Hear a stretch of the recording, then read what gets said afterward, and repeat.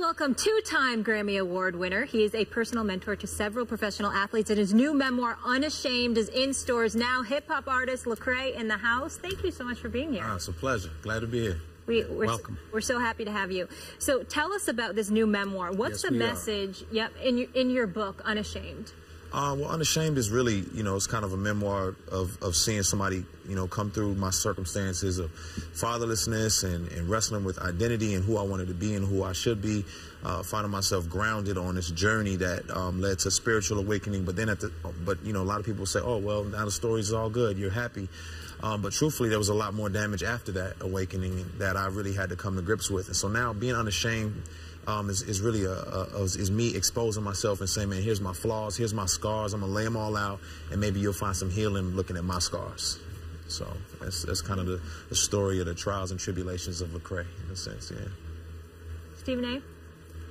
I'm kind of want, I, you know, listen, I, I'm speaking facetiously, obviously, because none of us are perfect, but Yeah. I'm kind of wondering what trials and tribulations that you, you've gone through, because I mean, my goodness, you Yeah. know, gospel and, you know, Christian album and what have you. You grew up, you know, idolizing Tupac and Ice Cube, but somehow you're in this genre. How did all of that come about? How did that transformation, assuming there was a transformation, Yeah. take place? When and where, and when and why? Yeah, I'm all, you know, I would say we're, we're we're all in transition, and just constantly, you know, and and um and for me, uh, you know, just growing up a, a product of hip hop and a product of hip hop culture, those are my primary influences, and so it wasn't as if uh, I just kind of, you know, I didn't grow up in church or anything like that, and as far as genres are concerned, man, I just I love hip hop, I love the culture of it. It's just that. You know, uh, around 19 years old, um, you know, I, I found myself on a college campus, and, and I was around Christians who looked like me, they dressed like me, they talked like me, and it was kind of off-putting. I didn't, I didn't know what to do with that. Um, but they loved me, they mentored me, they embraced me, and um, and and really, man, opened me up to to to you know understand who I was and who I was created to be, and understand that God made me with purpose and with reason.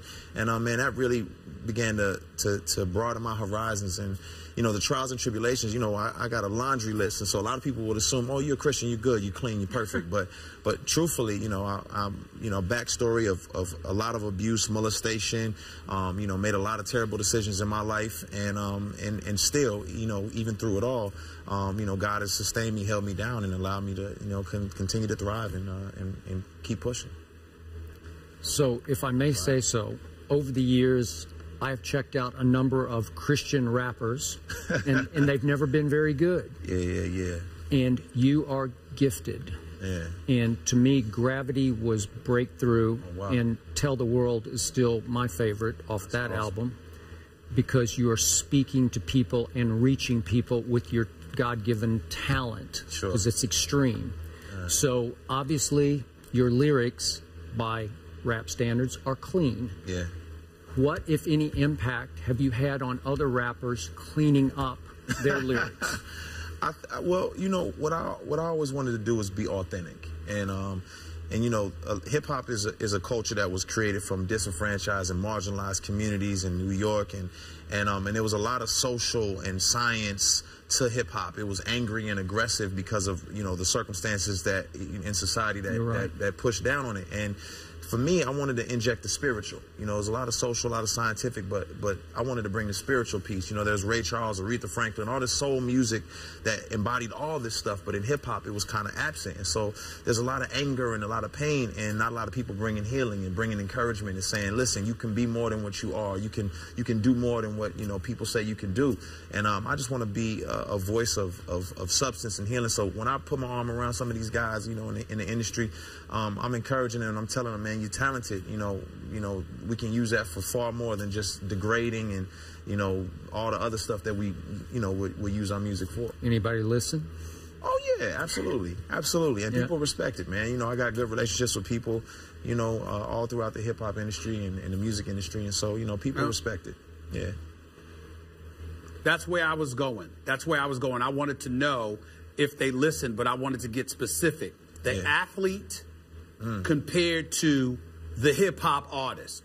How receptive are both? Genres, are they equally receptive, Yeah. or do you find one to be more receptive than the other? So what I would say is sometimes that genre, when you kind of classify it as gospel or Christian, it's off-putting, and, and so a lot of times I don't I don't label it. I I make music. I'm Lecrae, the person is a Christian. I may talk about social issues. I may talk about you know love, relationships. I may talk about my my, my love for Jesus. I- It could be all of that. But I remember I was at a I was at a, a practice for the Kings one time, and um you know and you know one of the, the coaches introduced me. and was like, hey guys, we got a gospel rapper here. He got some CDs for y'all. And all the players like, nah, I'm good, man. I'm good.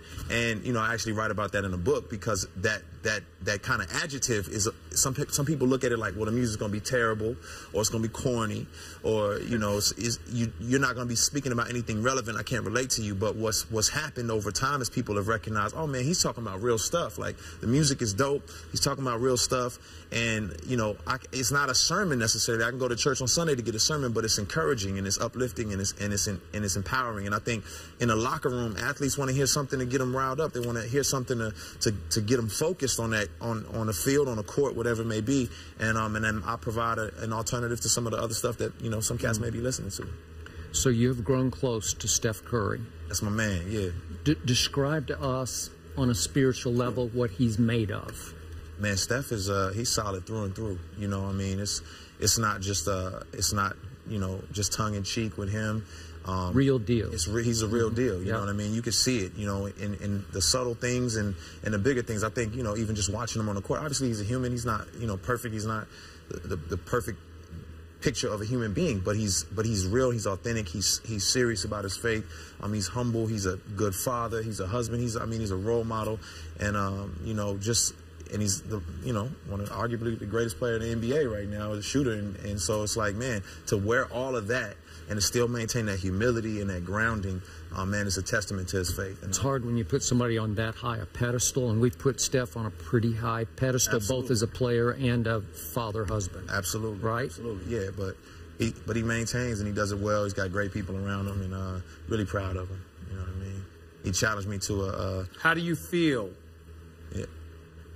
No, I'm sorry. Go Nah, ahead. nah, I was just Did saying- he challenge you to a what? I He- didn't he, hear. just challenged me to uh, to help um, you know uh, fight malaria by you know by, by calling my shot by making a shot and uh, you know I was like what kind of shot do I shoot with Steph you know challenging me in this particular situation And Uh, we sat and deliberated it, and I Yeah. just, you know, I kind of just, uh, just went for a one-hand three-point shot. That's the best, best I could do. and Nah, of course Made I hit it. Oh, of course you hit it. Okay.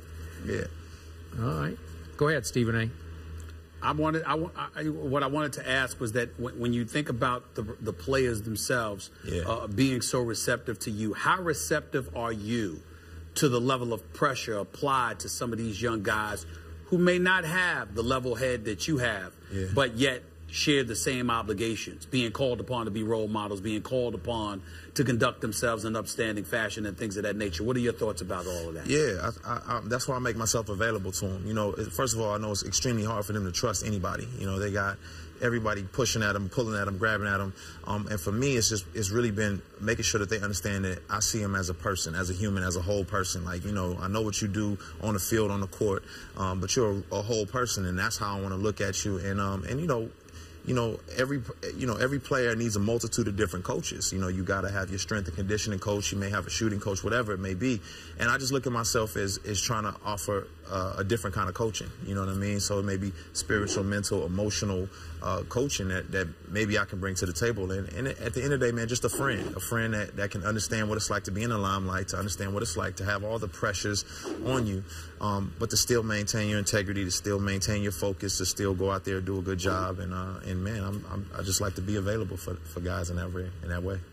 You've led some chapel studies over the last few years, some, Yeah. some pregame Bible studies, if you will, both NBA, NFL also. Yeah. Yep. How receptive have the, the managements of the teams been to you? Because in my past, I've known a lot of chaplains, and sometimes there's a little pushback, like that's a little too much, a little too close for comfort to us. We want to keep it a little more open in our locker room. Yeah, it's just different from team to team. You know, it's just different from team to team. Everybody's been really good and really open. Um, you know, and uh, a, a lot of great relationships have developed because of that. You know, I remember going into the the uh, pre Super Bowl game when, when the Ravens were playing, and, and and that was just a very spiritual place. You know what I mean? It was like I didn't, Right. they didn't need me in the After Ray Lewis, yeah. yeah, right. You know, it was just, I didn't need me in the room, but um, but a lot of teams have been really receptive, and um, and you know, and and it's been good for me. You know, it's been good for me to just.